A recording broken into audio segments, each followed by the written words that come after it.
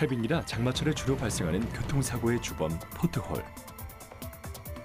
특히 여름철 집중호우에 다양한 사고로 이어지며 운전자들의 주의가 요구되는데 이 시기에 가장 바쁜 사람들이 있다. 여름을 앞두고 포트홀과의 전쟁을 선포한 유평준 박사 연구팀. 좀 더 튼튼한 도로, 운전자들이 안전한 도로를 만들기 위해 365일 노력하는 연구원들을 만나보자.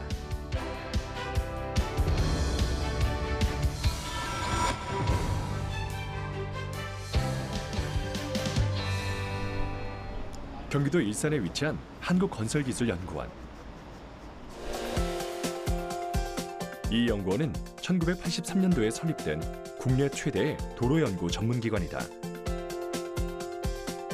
도로교통, 포장, 시스템, 안전시설 등 도로 및 교통 분야의 R&D 연구를 담당하고 도로를 효율적으로 관리하기 위한 정책 방향을 제시하는 등 쾌적한 도시 인프라 구축을 위해 노력하고 있는데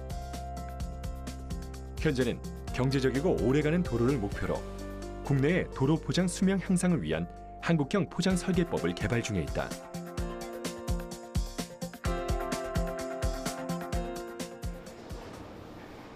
지난해 세계 최초로 포트홀을 방지하는 혁신적인 아스팔트 보강제를 개발한 유평준 박사 연구팀.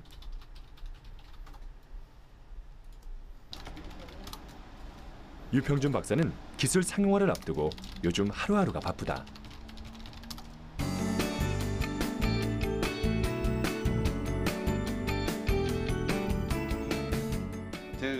아, 제가 담당하는 분야는 어, 도로 분야고요. 도로 분야 중에서도 좀 구체적으로 간다 그러면은 아스팔트 재료를 좀 어, 경제적이면서 좀 오래가는 재료를 만드는 쪽에 연구를 어, 하고 있습니다. 갑자기 하던 일을 멈추고 연구실 밖으로 나오는 유평준 박사. 대체 무슨 일인 걸까?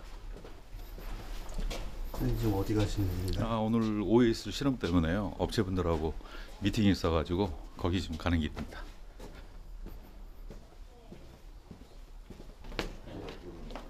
아유, 안녕하세요. 박수를 돼.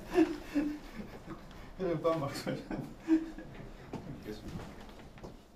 SMA하고 연구진은 지난해 국내 기업의 경제성과 내구성을 겸비한 포트홀 방지 아스팔트 기술을 이전했다. 제품 상용화 전 막바지 추가 실험에 대한 논의가 한창인데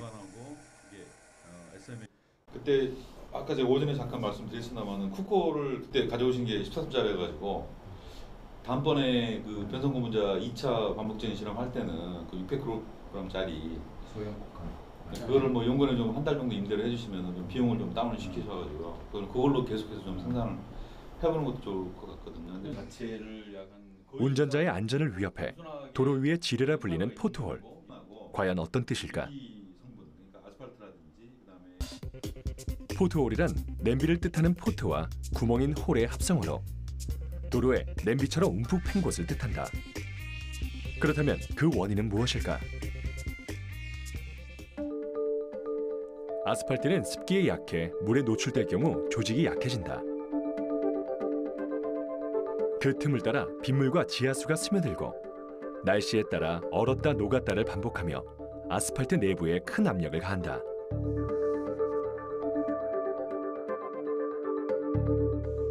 이때 약해진 아스팔트 조직 위를 차량이 지나가면 그 하중을 견디지 못하고 일부가 떨어져 나가 포트홀이 생성되는 것이다.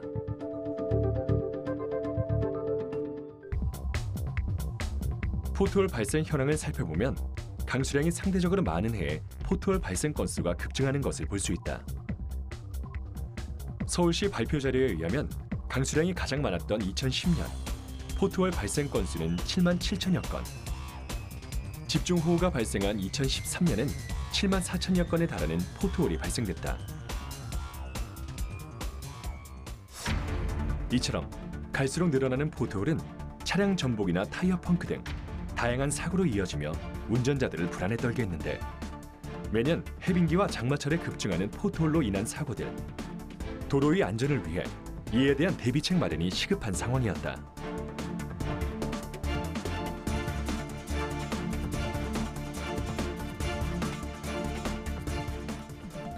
그렇다면 싱크홀과 포트홀은 어떻게 다를까? 싱크홀은 여러 원인에 의해 땅속 빈 공간이 발생, 집안이 불안정해지며 땅이 아래로 꺼지는 현상을 말한다. 구멍이 발생한다는 점은 같지만 포트홀은 그 규모가 현저히 작고 아스팔트 포장 도로에서만 발생한다는 점에서 큰 차이가 있다. 또한 포트홀은 주로 눈과 비가 내린 뒤 집중 발생하고 포트홀이 생긴 자리를 따라 연쇄적으로 발생한다는 특징이 있다.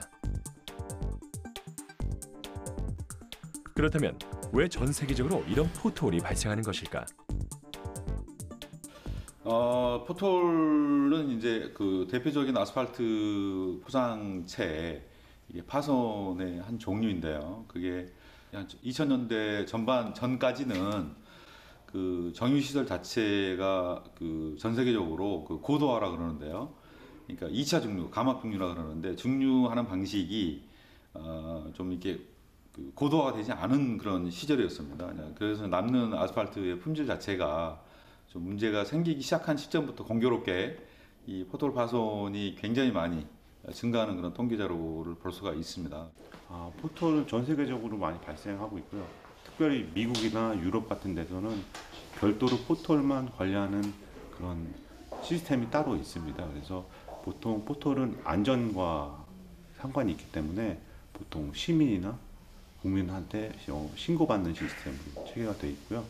그리고 도로 포장 관리하는 기관에서는 그거를 어, 집중적으로 그 방지하기 위한 노력들을 하고 있습니다. 오후 1시 트럭 한 대가 연구소를 찾았다. 기다렸다는 듯이 트럭을 마중 나온 유평준 박사.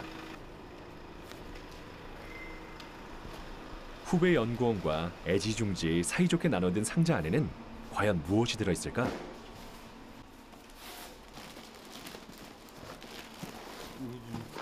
이년의 연구 끝에 찾아낸 포토를 예방하는 연구진의 비밀병기. 바로 유리섬이다.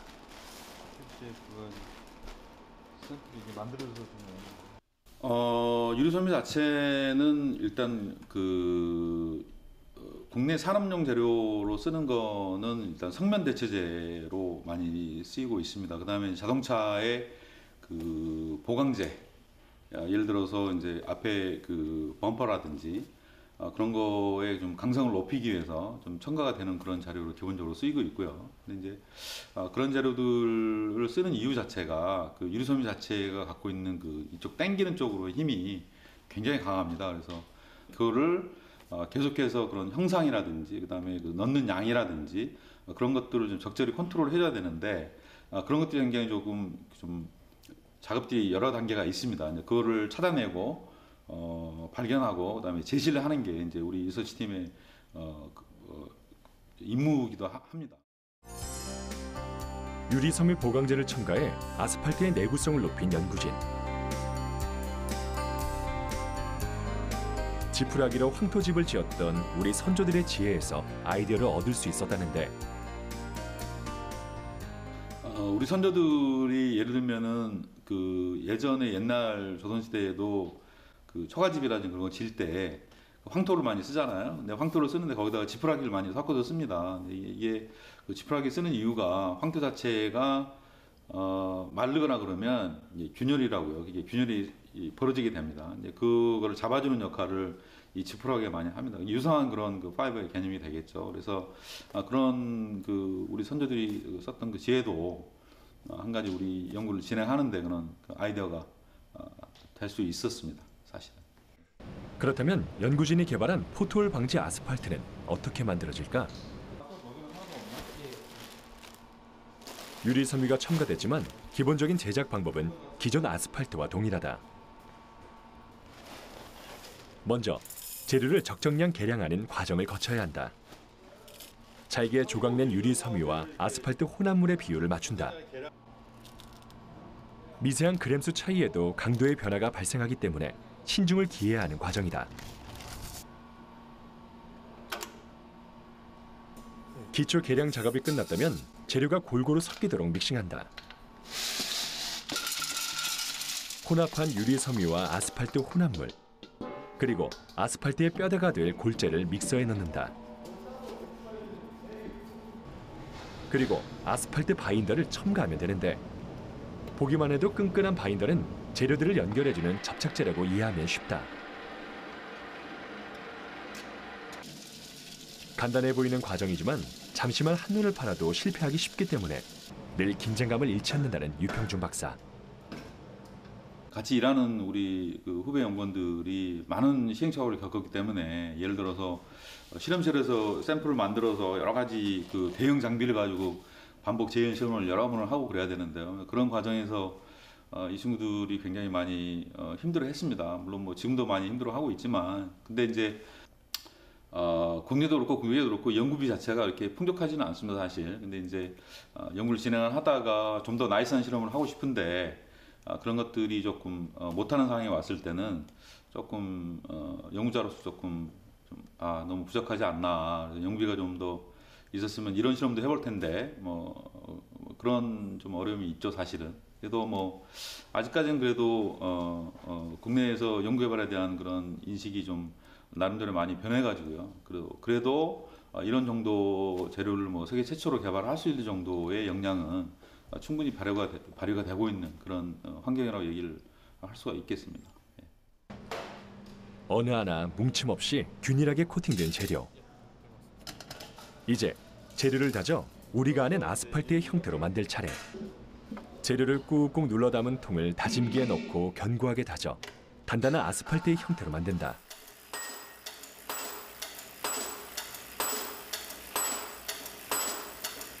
어, 아스팔트 혼합물을 이 다진기에 넣어서 이렇게 다지게 되면 이렇게 둥그런 형태의 그 시로가 만들어지게 됩니다. 그러면 이제 시로를 어, 여러 가지 테스트들을 어, 진행하는 과정을 거치게 됩니다.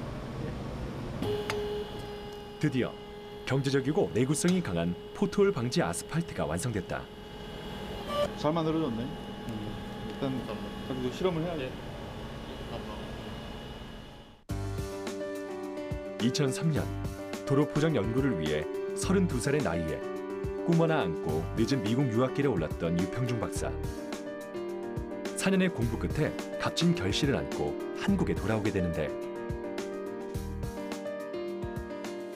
어, 유학을 간 거는 어, 32 정도 좀 늦은 나이에 제가 유학을 갔습니다. 그래서 처음에 갔을 때는 언어적인 문제도 좀 있었고요. 심지어는 뭐 선생님 숙제를 내줬는데 어, 숙제를 영어를 잘 못 알아들어서 음, 숙제를 좀 안 해간 경우도 좀 몇 번 있었고요. 그래서 뭐 그런 어려움이 있었고, 근데 어, 다행히 제가 그 훌륭한 교수님을 만나서 그 학교 입학할 때부터 저는 그 연구팀에 이렇게 소속이 됐습니다. 그래서 장학금도 받았고 월급도 받았습니다. 그래서 그때 당시부터 이제 다행히 그 아스팔트 제로 관련된 연구를 좀 처음 가자마자 어, 수업도 하면서 수업도 들으면서 이제 연구도 하면서 뭐 그렇게 좀 잘좀 알차게 한 그런 케이스라고 볼 수가 있겠죠. 네.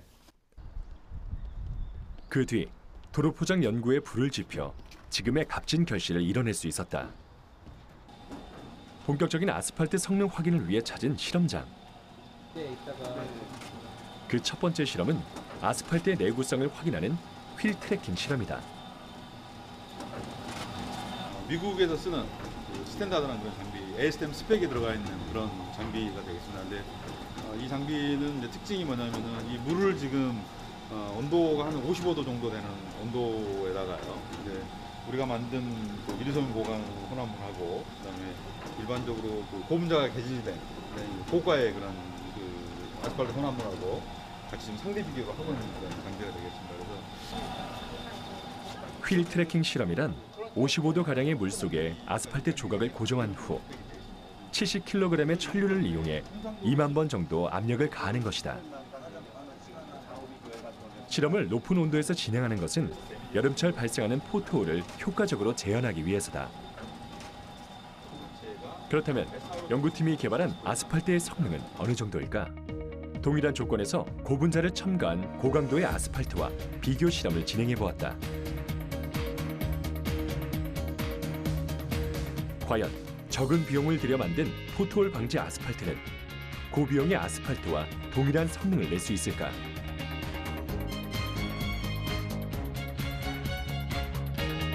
3,880회가 경과된 시점에서 두 아스팔트의 차이를 살펴봤다.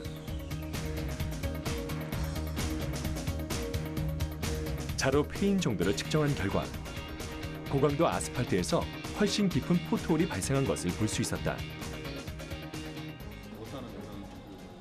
경제적이면서 내구성이 좋은 연구진의 아스팔트는 올 하반기 일부 도로에 적용될 예정인데. 어, 지금 이제 해외 시장에도 같이 지금 진출하기 위해서 노력을 하고 있고 그래서 이런 기술 같은 경우는 단순히 국내뿐만이 아니고 해외 시장에서 충분히 경쟁이 있는 그런. 그렇기 때문에 어, 건설기술연구원에서 이제 개발한 기술을 저희는 상용을 하고 해외 시장까지 진출하는 그런 일을 같이 하고 있습니다. 완벽에 가까운 결과물을 만들어내기까지 수천 수만 번 끝없이 실험을 반복하는 것 이것이 연구진의 가장 큰 업무다. 이런 끈기와 지칠 줄 모르는 열정이 있었기에 지금의 아스팔트 제작이 가능하지 않았을까. 또 다른 실험을 준비하는 연구진 압축기에 아스팔트 조각을 끼워 인장 강도를 확인해 보기로 했다. 분당 50메가파스칼의 압력으로 아스팔트 조각을 눌러 어디까지 버틸 수 있는지 강도를 측정하는 실험이다. 설명은 PSMA 6번 기존 아스팔트의 경우 0.6메가파스칼의 압력을 견딜 수 있었다. 그렇다면 연구진이 개발한 아스팔트는 유리 섬유를 활용한 아스팔트는 일반 아스팔트보다 높은 1.4 메가파스칼의 압력을 견뎌냈다. 이게 이제 얘가 그 피크도 중요하지만은 얘가 안에 이제 그 버섯 밑에 면적이 얼마나 차이가 나는가 굉장히 중요한 팩터예요. 이 안에 스테는 에너지가 얼마나 있느냐 도 중요한 거거든요. 강한 압력에 버틸 수 있는 유리 섬유. 과연 그 원리는 무엇일까? 이루섬유 자체의 성분 자체가 그 SiO2라는 그런 그, 그 이산화규소 성분이 한 40% 이상 정도 되는 그런 특성이 있습니다. 그래서 어, 이 성분이 많게 되면은 아스팔트하고 만났을 때 굉장히 그 잘 붙어요 얘가. 아, 그래서 이제 잘 붙으니까 떨어지기도 힘들겠죠. 네, 그런 특성을 아스팔트 그 제로에다가 이렇게 이식을 하게 되면은 당연히 이제 포토에 굉장히 잘 견디는 어, 그런 재료로 얘가 어, 바뀔 수 있겠다라는 게 어, 연구의 시점이었고요. 차별점은 기존에 같은 경우는 바인더가 바인더 골재 바인더 골재 잡아주는 형태인데 여기는 더 어, 섬유가 그 바인더랑 골재 사이에 더 들어가서 균열이 발생됐을 때 좀 더 그 섬유가 잡아줌 그 균열을 좀 잡아줌으로써 좀 내구성을 증진시키는 그런 효과를 발현하고 있습니다. 어, 지금 목표는 한 두 배 정도인데 현재까지는 한 1.5배 정도 수준까지 개발되어 있는 수준입니다. 기본 일반 아스팔트 대비. 올 하반기 상용화를 위한 야외 테스트 베드에서의 마지막 실험. 기술 이전 기업 관계자와 연구진이 한자리에 모여 결과를 주시하고 있다. 늘 새로운 것에 도전해야 하는 연구진. 언제나 실패할 수 있다는 부담감이 있기 때문에 실험을 시작할 때는 늘 마음이 무거운데 사톤 가량의 거대한 바퀴가 아스팔트를 횡단하는 아스팔트 가속화 실험. 실험을 지켜보던 유평준 박사가 갑자기 모니터실로 향했다. 실시간 모니터링을 통해 도로에 가해진 압력과 파손 정도를 꼼꼼히 확인하는 유평준 박사. 최초 시험할 때 바퀴 내려가지고 가지고 요 과연 이번 실험은 무엇을 테스트하는 것일까? 요거보다는 프로파일을 어, 실제로 예, 트럭 어, 트럭이 다니는 거를 지금 어, 모사하는 그런 실험을 하고 있습니다. 이 실험 같은 경우에는 제가 그이 반복하는 그 횟수를 최소한 100만 번 이상 어, 이 반복을 시켜야 되는 그런 실험이거든요. 그래서 이 실험은 어, 통상적으로 저희가 최소한 한 달 정도를 지속적으로 실험을 하는 그런 과정이 되겠습니다. 한 달이란 길고도 짧은 시간. 이 실험을 통해 유리섬유 보강 아스팔트의 현장 적용 가능성을 확인할 계획이다. 포토홀 예방을 위해 지난 2년간 숨가쁘게 달려온 유평준 박사 연구팀.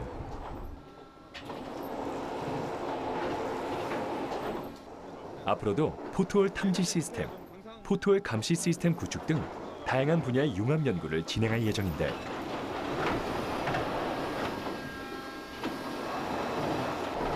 그렇다면 연구진이 꿈꾸는 최종 목표는 무엇일까? 어, 도로 포장을 담당하는 연구원으로서 어, 최종 목표는 어, 사- 최근에는 도로 인, 도로 인프라가 좀 노후화되고 있습니다. 해외 사례를 보더라도 노후화되면 비용이 유지 비용이 되게 증가되는데 그런 부분에서 어떻게 잘 관리하고 잘 관리하고 잘 건설할 수 있는 그런 부분에 있어서 좀 도움이 되는 연구자가 되고 싶습니다. 어, 아스팔트 재료를 두 마리 화장지 형태로 만든다든지 아니면은 그 도로 포장체 자체를 레고 블락 형태로 공장에서 생산을 해서 어, 현장으로 바로 이송을 해서 이 현장에 설치하는 그런 형태의 어, 재료 및 그다음에 그런 그 어떤 일종의 음, 어, 다른 산업이 좀, 어, 좀 산업계의 활성화 차원에서도 필요하지 않겠느냐는 차원에서 그런 형태의 연구를 현재 진행을 하고 있고 앞으로 어, 그거에 대한 어, 실질적으로 실현 가능한 그런 솔루션을 만들어내는 게 우리 연구팀의 목표입니다. 국민들이 쾌적하고 안전한 도로를 달릴 때 연구자로서의 자부심과 보람을 느낀다는 연구진. 자체 기술로 인체에 무해하고 경제적인 유리섬유 보강 아스팔트를 세계 최초로 개발. 보이지 않는 곳에서 국민들의 안전을 지키기 위해 노력하는 이들. 이들이 바로 이 시대에 숨겨진 영웅이 아닐까.